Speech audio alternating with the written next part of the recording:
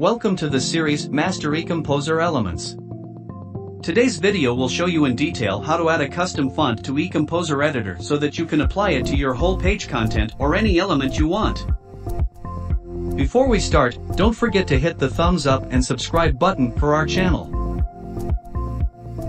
If you don't have a Shopify account, feel free to click on the link we attached in the description below.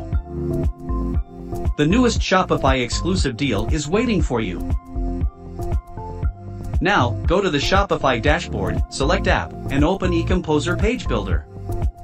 In case you haven't installed the app, you can find the link to eComposer on Shopify App Store in this video description. So, from the eComposer app dashboard, click Start Building to create a page or select an existing page to access the eComposer editor. In this video, I will choose a page I have already created.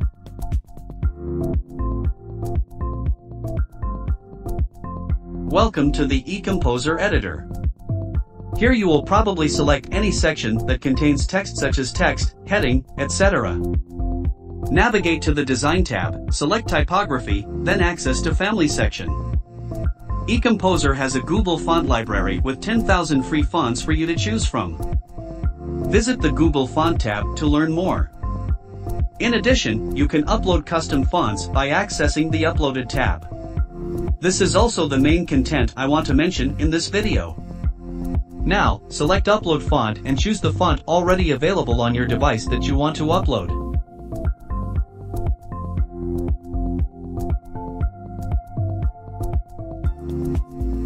So the font I want to upload is here. I just need to click select and my font instantly apply to the text here. eComposer will save this font. And next time you want to use it, you just need to change the font as usual without having to upload the font from scratch.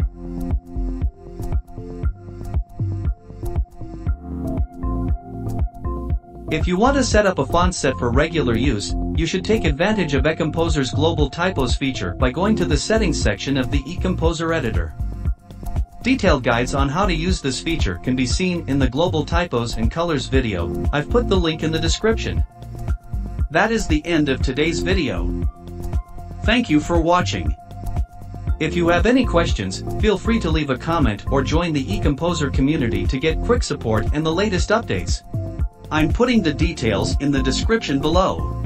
And don't forget to subscribe to our channels to receive the newest e-commerce page building tips and tricks. See you next time.